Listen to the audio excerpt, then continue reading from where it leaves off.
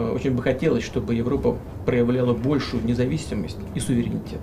И была бы в состоянии отстаивать свои национальные интересы, интересы своих народов и своих стран. Но согласитесь, если нам внутриевропейские дела с европейскими партнерами нужно обсуждать в Вашингтоне, то это очень не, не очень интересно. В мире и э, в европейских странах происходят определенные тектонические изменения в общественном сознании направленные на защиту национальных интересов.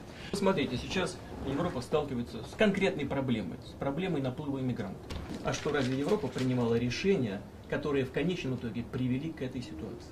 Надо быть откровенным и честным. Эти решения принимались за океаном.